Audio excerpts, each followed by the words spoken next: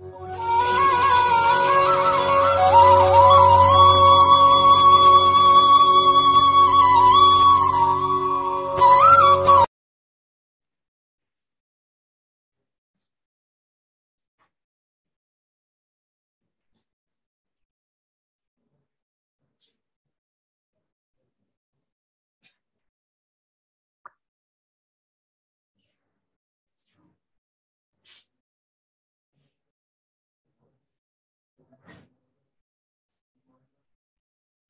Hello in the session of engineering materials and metallurgy. Today we will discuss about the Jominy end quench hardenability test. So this test, what is the purpose of this test? How this test is uh, carried out, the process includes, and what will be the change in the hardness of the material that we will uh, learn in this session.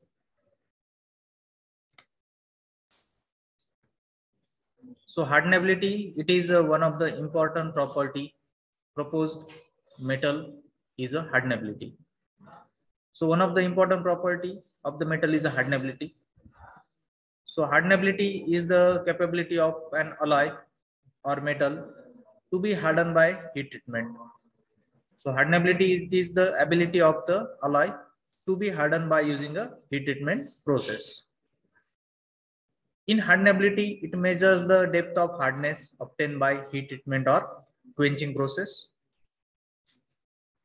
Hardenability is not the same as that of a hardness. That is nothing but hardness and hardenability. These two are a different thing. Hardness is the mechanical property of the material or alloy, and hardenability is the uh, the process of increasing the hardness of the metal. So the hardness of a steel refers to its ability to resist the deformation when a load is applied, whereas hardenability refers to its ability to be hardened to a particular depth under a particular set of condition. So this is the difference between the hardness and hardenability. Next is the Jominy test. That is the name of scientist who discovered the test for the hardenability. So the Jominy end quench test measures the hardenability of the steel. As already discussed, hardenability is the measure of the capacity of steel to be hardened in depth when quenched from the austenizing temperature. So here in this diagram, you can clearly see uh, the sample uh, that is a standard specimen for Jominy end quench test is kept in the furnace and it will be heated to the austenizing temperature that is nothing but a 953 degrees Celsius temperature. So why Jominy test is performed? So the information gained from the test is necessary in the selecting the proper combination of alloy steel and heat treatment to minimize thermal stresses and distortions when manufacturing components of various sizes. So that is the need of the Jominy test. Next steps to conduct the Jominy test. So here uh, first a sample specimen cylinder either 100 mm in length and 25 mm in diameter or alternatively 102 mm by 25 by 25.4 mm obtained. Then second step is uh, the steel sample is normalized to eliminate differences in the microstructure due to uh, previous forging and then uh, it is austenized. Thus, it is usually at a temperature of 800 to 900 degrees Celsius is heated in the furnace. Next, third step, the specimen is rapidly transferred to the test machine where it is held vertically and spread with a controlled flow of water onto one end of the sample. This cools the specimen from one end, simultaneing the effect of quenching a larger steel component in water. Because of the cooling rate decreases as one move further from the quench end, one can measure the effect of the wide range of the cooling rates from very rapid at the quench end and to air cooled at the far end. Next, the specimen is ground flat along the length to the depth of 0.38 mm. So the 15 thousandths of an inch to remove the decarburized material. So here uh, some filing is provided. So in diagram also the specimen is uh, hold at with the help of collar. Then heated to the austenizing phase that is a uh, 753 degrees Celsius. Then cool to the running water at one end, which is equal to 24 degrees Celsius. So the for flat ground, Rockwell hardness by using the Rockwell hardness testing machine. The hardness is measured from the free end. So in last step, next step, the hardness is measured at interval along its length, beginning at the quench end for alloy steel, an interval of 1.5 mm is commonly used, whereas with carbon steel, an interval of 0.75 mm is typically employed for measurement of the hardness value. Then finally, the Rockwell or Vickers hardness value are plotted versus distance from the quench end. So here in graph, you can see on x-axis, there will be the distance from quench end. And on y-axis, there will be the hardness HRC. So here initially at quench end hardness is higher. You can see clearly see at the curve. Here hardness is higher and it will be reduced from the quench end. So up at the collar end, it will the hardness value is the minimum. So the, this is called as a hardenability curve for the steel. The Jominy test data illustrate the effect of the alloying and microstructure on the hardenability of the steel. Now the summary of the Jominy end quench test hardenability test. So round test bar is austenized, heated the proper temperature from 100 degree, 100% austenite. That is uh, 750 or 753 degrees Celsius. Not 750, 950 degrees Celsius. Then bar quenched at one end.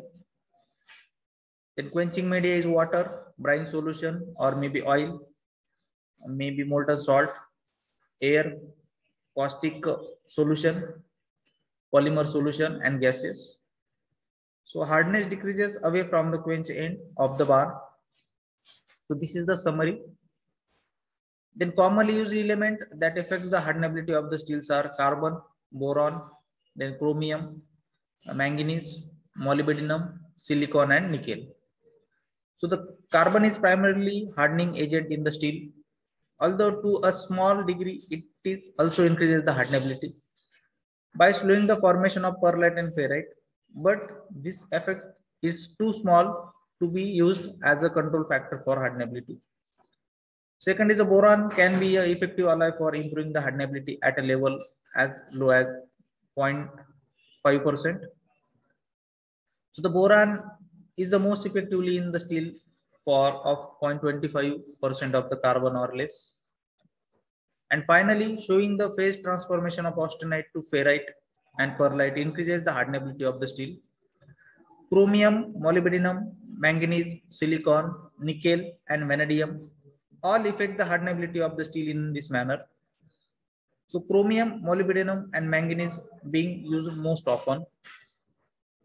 So the cooling rate varies with the position so here in this diagram, you can clearly see for pearlite cooling rate is different at the center of the sample. For fine pearlite cooling rate is uh, different.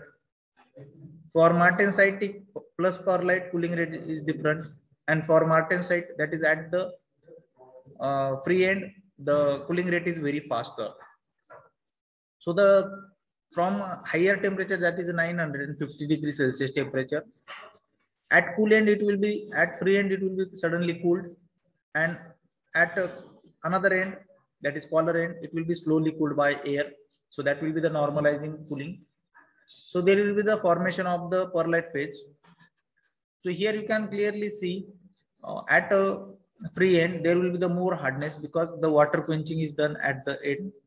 And apart from this end this area will get hardened by using the normalizing heat treatment so in here, there will be the martensitic phase. Here it will be the pearlite phase, not martensitic. And where water is applied as a coolant, there will be the martensitic phase. Here the phase is martensite plus pearlite. And here phase is the fine pearlite. Not fine pearlite, coarse pearlite.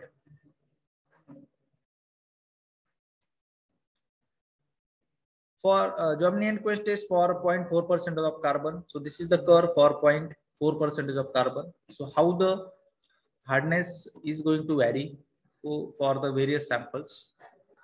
So this is for 1040 type of the steel. This is for 5140 type of the steel. This is for 8640 type of steel. And this is for 4340 types of the steel. So at this position, there will be the hardness at the quench end. And this will the hardness value for the free end. So that is the distance from quench end. Then this is the for alloy steel contains the uh, nickel, chromium, molybdenum. So this will represent the cooling curve for the cooling curve for the alloys. So the hardness will going to increase at the martensitic phase. So the effect of quenching media. So what will be the effect of quenching media and geometry that we're going to see here. So if air is there, then uh, severity of quenching is low and hardness is also low. If quenching media is oil, then severity of quenching is moderate and hardness is moderate.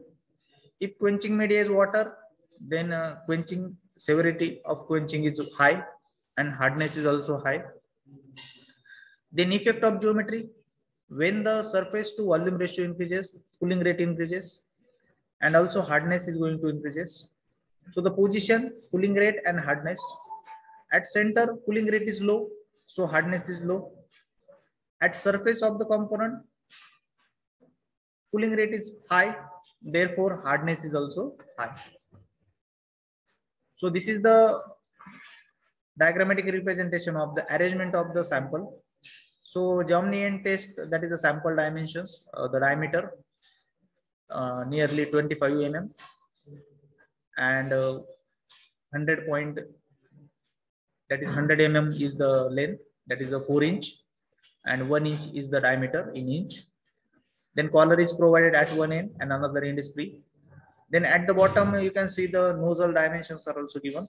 So this is the nozzle water at 20 degrees celsius so the nozzle size is given uh, point 12.5 mm as the size then this is the diagrammatic representation of the apparatus. So this is the water stored into the tank. Then this is the sample is hold at the apparatus with the help of this collar. And uh, through this pipeline, the water is sprayed. So here a nozzle is there. So water umbrella will be formed and uh, it will uh, perform the cooling operation or a sudden quenching operation at the end of the sample. Then the filing is provided to remove the rust on the surface. After that, at various distances from the free end, the hardness value is measured. So here number of readings are noted down from the distance from the quench end with a certain uh, length. So after that, the results are uh, plotted by using the graph. So for this free end, the hardness value is more. And whenever we are apart from the free end, that is quench end, the hardness value will be going to reduce. So in this way, we can uh, study the Jominy end quench test for the hardenability. Thank you for watching the video.